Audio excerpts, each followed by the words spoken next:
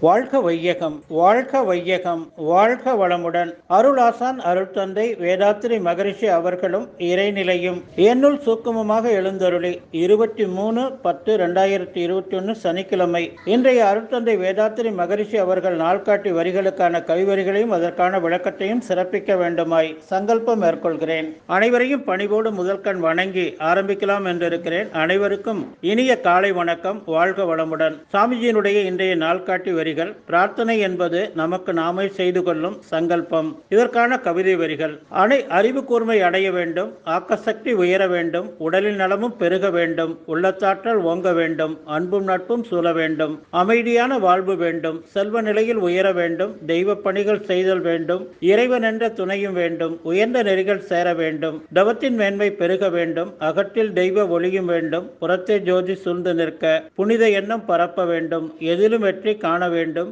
ஏற்றமுடைய வாழ்வு வேண்டும் இன்பமெங்கும் தங்க வேண்டும் இனிய சூழல் நிலவ வேண்டும் மண்ணில் நல்ல வண்ணமாக மகிழ்ச்சியாக இருத்தல் வேண்டும். நிறைவான பதினாறு பேரான இறைவுணர்வு அறநெறி கல்வி தனம் தானியம் இளமை வலிவு துணிவு நன்மக்கள் பேறு அறிவில் உயர்ந்தவர்களுடைய நட்பு அன்புடைமை அகத்தவம் அழகு புகழ் மனித மதிப்புணர்ந்து ஒழுகும் பண்பு பொறையுடைமை என்னும் பேறு பதினாறும் பெற்று போற்றுதலுக்கும் தூட்டுதலுக்கும் வாழ்த்துக்களை கூறி மறைவிளக்கும் உயர் வாழ்வை மதித்து ஒழுக்கம் காத்து மனையரமாய் ஒளிவிளக்காய் ஓங்கி வாழ வேண்டுமாய் வாழ்த்தி மகிழ்வோம் என்று சாமிஜி கொடுத்திருக்கிறாங்க.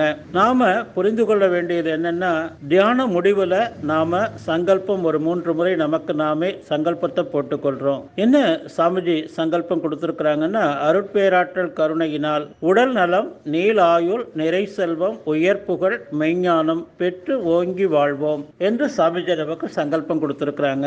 உடல் நலம். நாம தினந்தோறும் காலையில காலை கடன் முடித்த உன்னையும் சாமிஜி கொடுத்திருக்கக்கூடிய எளிய முறையிலான இந்த உடற்பயிற்சியை நாம் தினந்தோறும் செய்து வந்தாலே நமக்கு இந்த உடல்நலம் என்பது முழுமையாக நாம் உடல்நலம் பெறலாம். சாமிஜி அதற்காக ஒரு முப்பத்தி ஆறு ஆண்டுகள் உலகத்தில் உள்ள அனைத்து யோகாசனங்களையும் கற்று தன் உடலை சோதனைக்களமாக பயன்படுத்தி தானே அதை எளிமைப்படுத்தி இந்த உலக மக்கள் அனைவரும் பயன்பெற வேண்டும் என்ற அந்த ஒரு உயர்ந்த நோக்கத்தில் நமக்கு கொடுத்தது தான் இந்த எளிய முறையிலான உடற்பயிற்சி. இந்த உடற்பயிற்சி குழந்தை பிராயத்திலிருந்து நம்முடைய இறுதி காலம் வரையிலும் நாம நம்முடைய உடலை தூய்மை செய்து கொள்வதற்கான எளிய முறையிலான உடற்பயிற்சி. அடுத்தது நீல் ஆயுள். நீல் ஆயுள் என்ற உயிர் சக்தி நல்ல திணிவாக இருக்கணும். அப்போ இந்த உடல் வஜ்ரம் போல இருக்கும். இந்த உயிர் சக்தியினுடைய திணிவுக்கு சித்தர்கள் கொடுத்திருக்கக்கூடிய ஒரு இருபது வரிகளை எடுத்துக்கொண்டு ஒரு நாற்பது ஆண்டுகள் ஆராய்ச்சி இறைநிலையிலிருந்து சுவாமிஜி இருந்து அதன் பிறகு ஒரு குரு மூலமாக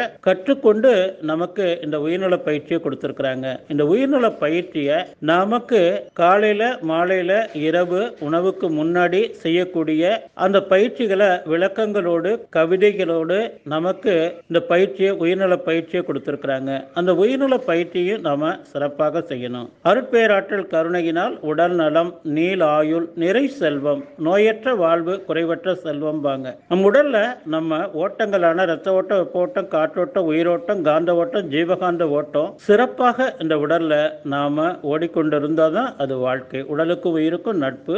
அப்படி ஏதாவது பிணக்கு ஏற்படும் போது அதுதான் தடையாக நோயாக வருது. அதுதான் இறுதியில் வந்து உடலை விட்டு உயிர் பிரிவதற்கு காரணமாக இருக்கு. அப்போ இந்த பயிற்சிகளையும் நாம அனைவருக்கும் கற்றுக் கொடுத்து நாமும் செய்வதன் மூலமாக பெறக்கூடிய உயர் புகழ் நாம் இறைநிலை இணைப்பில் இருந்து நாம அன்பும் கருணையோடு அந்த மெய்யுணர்வு என்று சொல்லக்கூடிய அந்த இறைநிலை இணைப்பில் இருந்து இந்த உலக மக்கள் அனைவருக்கும் இந்த பயிற்சியை நாம சிறப்பாக கொண்டு செல்லணுங்க. அதுதான் சாமிஜி சொல்கிறாங்க அருட்பேராற்றல் கருணையினால் உடல் நலம் என்பது நம்ம அந்த உடற்பயிற்சியை செய்துட்டு நம்முடைய முழு உடலை உச்சி முதல் பாத வரையிலும் நம்ம நினைத்து கொள்ளணும். நீல் ஆயுங்கிறது நாம தினந்தோறும் அந்த உயிர்நல பயிற்சியை எல்லா பயிற்சிகளையும் இணைச்சு பயிற்சிகளை செய்து நாம் அந்த உயிர் சக்தி உடலில் திரிவாய் இருக்கக்கூடிய அந்த ஜீவபட்டு குழம்பை நம்ம நினைத்து கொள்ளணும். உயிர் செல்வம்ங்கும் போது நம்முடைய உடல்ல இருக்கக்கூடிய ஓட்டங்களை நாம நினைத்து கொள்ளணும் என்று சொல்லி நன்றியோடு நிறைவு செய்து கொள்ற இன்றைய சிந்தனையை வாழ்க வளமுடன் வாழ்க வளமுடன் வாழ்க